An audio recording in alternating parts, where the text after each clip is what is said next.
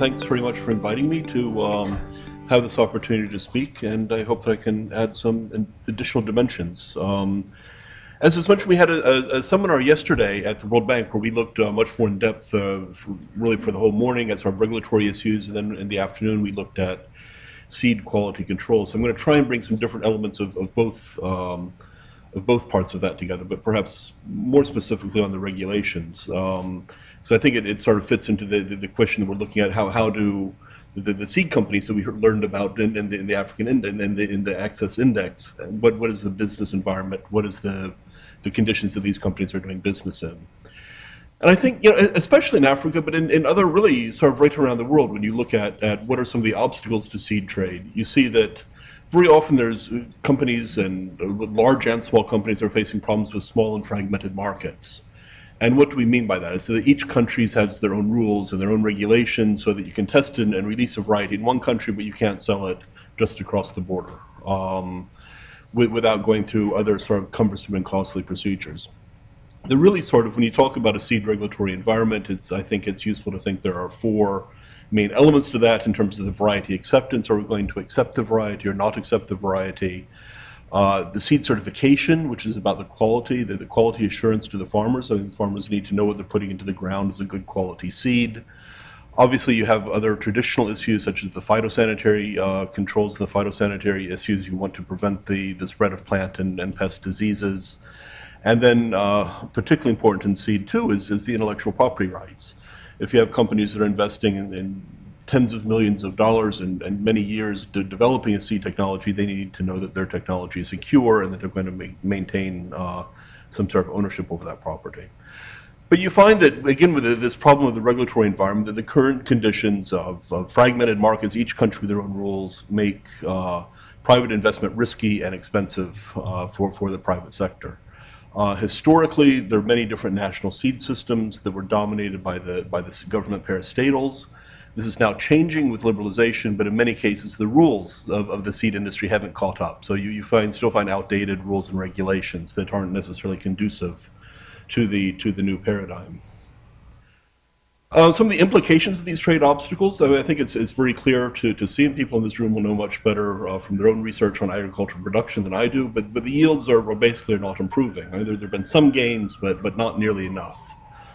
Um, farmers are, are not achieving the kinds of, of increased productivity they need to, to move out of poverty or to feed themselves, and particularly in Africa, you find that they're becoming increasingly dependent on food imports from the rest of the world um, farmers are left with few options for, for, for seed. Um, high cost of, of, small markets mean that seed companies uh, may register just a few varieties and hold others back. If you have to test and to go through all of these different regulatory procedures, you may just release one or two seeds in the country, which contributes again to that problem of farmers not having very many choices. It also puts a heavy burden on the public agriculture research. We heard we heard a lot in the in the last presentation about the trying to get a balance between pub, what public sector can do best and what private sector can do best. But the the regulations that's blocking private companies out of the of the seed industry, you're overburdening in many cases the the, the, the state system as well. Um, and then not only that, but you find that, that actually countries have an inability to meet their own quality rules um, either the, the, old existing regulations, or as I'll talk about in a moment, some of these new new efforts to reform, countries still are not able to to meet their own rules and regulations. They don't have the capacity. Um, I think kind of an interesting example in, in Uganda, and even where they have a, a so-called ISTA, International Seed Testing Association accredited lab, they, they, they've got all the so-called institutions on paper. It looks like their system, they, they're following the rules, they have the regulatory environment, but they don't have the capacity, with the result that the input quality is so poor and unreliable that the returns on so-called hybrid seed, which really a lot of it's counterfeit seed, and fertilizers are negative 12.2%. So the farmers are actually quite rational not to plant hybrid seed and not to improve their, their yields. Um, and then on the intellectual property front side, uh, UPOV and other treaties provide for intellectual property rights on seed, yet many national policies contradict these agreements. You might have um, parts of the national legislation that are still not conducive to promoting this kind of seed trade and private investment.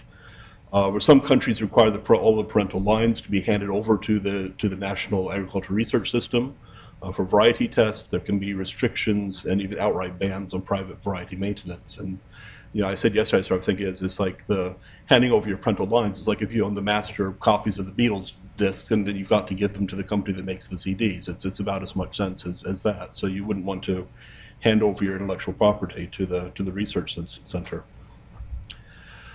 Um, efforts to improve seed trade. Now, what, what, are, what are people doing about this? And I guess a lot of effort over really, whew, going back almost 20, 25, or even 30 years now, has been put into regional harmonization. Uh, SADC was one of the first um, RECs, these regional economic communities that got into it. Um, it's been a very popular approach. USAID has done a lot to support uh, regional harmonization. Uh, SADC, COMESA, the EAC uh, as well, ECOWAS, UMOA, but in other parts of the world, which I know a little bit less about, but um, others may wish to add to the discussion, the Andean Pact with Curacao, Central America, ASEAN, uh, and others, um, often based on the, a lot of it's sort of driven or, or modeled on what the, the, EU's approach of having a common catalog for the region. I'll say a little bit more about that, I think, on the next slide.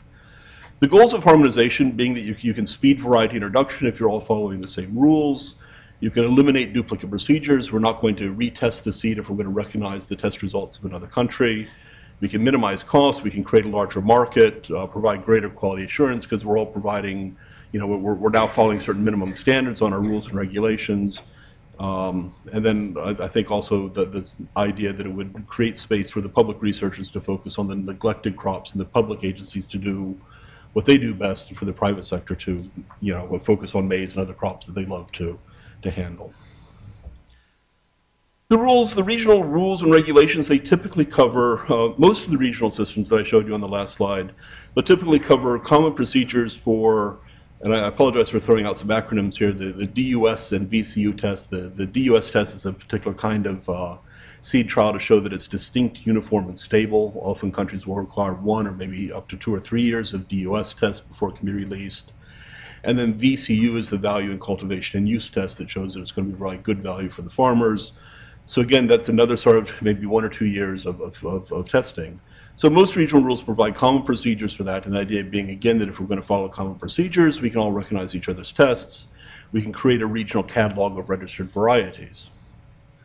Um, I don't know if I'm jumping ahead, but I'm sure I'll say in the next slide, or if I, if I don't, I just want to make the point. But then there's the problem that if you don't recognize, or if the, if the countries that are implementing these tests don't have the capacity, you say, okay, it's being entered in the, in the regional catalog by a neighbor I don't trust, then that's where you get into problems with even recognizing what's in the regional catalog. And the same for the, for the common certification rules. So there, there are international systems based on OECD procedures for field inspection, and ISTA is the International Seed Testing Association, rules for laboratory analysis. So there's, um, again, these regional rules will have common certification procedures, once more with the idea that there should be mutual recognition of the country seed certificates, but again, giving rise to questions about your neighbor's capacity. Some of these regional rules, um, SADC, for instance, uh, has common list uh, of pest lists to try and minimize the need for phytosanitary inspection. Uh, others haven't quite gotten that far. Uh, others are working on it, but then you find that the pest lists are out of date. They don't necessarily have the scientific research to back the, the pest lists. Few regional rules and uh, the harmonized rules so far cover um, or provide specific guidance on protecting intellectual property rights that go beyond the uh, the UPOV for the other uh, sort of regional conventions. And, and don't really address some of these other fundamental bottlenecks, such as requiring varieties to be handed over to the NARS and so forth. Risk of harmonization, um, time consuming. As I said, SADC started discussing this. I mean, David Gisselquist will, will know much better than I, but it's in the 1980s, maybe even before, uh, when they started to discuss. Um, uh, some of the others have been a little bit quicker. They sort of more or less, you know, copied and pasted some of what the other uh, countries have had done. But uh, even uh, COMESA, where they'll tell you that it's been going very quickly, they've been at it for now about five years. They've agreed on the regional regulations, but then even after you agree the regulations, now you've got to domesticate the regulations. You've got to amend your national seed laws before the rules become applicable. And then even after they become applicable, legally applicable, you still have to build the institutions and the capacity to implement them. So it's still many years off from, from really being able to follow these, these regulations. Um, and there's the point of you cannot implement or afford the advanced seed rules, and, and particularly these, these very advanced and demanding certification tests have real important implications for small seed companies the seed companies that in principle should, or in theory anyway, should have uh, as much, if not greater capacity sometime to reach the small farmers, the ones that we're here talking about today and trying to reach. Uh, okay, there's the point I, I, said I was going to make about the mutual recognition demands trust. And, and if you're neighboring your neighbor country, you know they don't have capacity. So in some cases, actually, you're, you're quite wise not to trust them. Um, But then I suppose the question, begs the question of are, are the rules right? Are we trying to, to run before we can walk? Are we trying to walk before we can crawl by setting these advanced rules? Um, risk as well that reform-minded countries can be held back by less progressive partners. Um, and, and yeah, I, see, I've got two minutes. Um, advanced rules typically overlook indigenous land races. That's another important point. You've got the, all these indigenous seeds, but there, there's really relatively little space for the advanced for those in the advanced rules. Um, let me try and skip ahead because I do want to talk about this. Um, what are some alternatives? What else could countries do? What, what other sorts of approaches are out there? Uh, automatic variety registration would be one. Let's just cut to the chase and accept the varieties. Uh, South Africa, for instance, accepts just one season of DUS tests. Bangladesh accepts test data from other private companies, uh, not requiring their own, their own national system. Um, except other national variety lists um, involve private agencies in seed certification, allow private variety maintenance. There's no reason why a company like Monsanto shouldn't be allowed to maintain its own variety. That's what they do. Um, and then on the on the third certification, simple risk-based approaches such as quality declared seed. It's a lower standard than, than, the very demanding standard, but at least again, it's I think it's an example. If you can implement it, at least it's better than nothing. Um, providing exclusive rights to public varieties might be another option. With these uh, other approaches have been tried, they've had great impact. Turkey, for instance, accepts data from private companies, and within five years of doing that, the number of maize hybrids increased from 24 to 114, and average yields rose by nearly one and a half tons. Since 2005, Pakistan has accepted private maize rye hybrids, and that, um, as a result, yields rose from two to three tons per hectare. Bangladesh, private hybrids and acceptance of private data helped data even more, from one ton in 1991 to six tons in 2010. So some of these simple, straightforward reforms can have really pretty dramatic impact. Now, in the uh, probably the 30 seconds, oh no, the red paddle. But but let me let me just say because this uh, it's something I wanted to to get to just quickly is because I think it feeds off a little bit from the, the discussion of the seed index here. And we, we, we heard uh, Ido mention very briefly about the TASAI, which is this uh, the African Seed Access Index, which looks at more, I think, more than, than the company's performance, sort of a slightly different dimension. It looks at more the regulatory environment. Um, and they have indicators across at least five different areas, research and development in terms of the numbers of seed breeders, varieties released, availability of foundation seed, industry competitiveness, I won't read through them all, uh, but policies and regulations, institutional support, and service to smallholders. So it's really looking more at the institutional context of, uh, of seed trade. And finally, um, which I guess you can, can go back and study, but I thought this was interesting.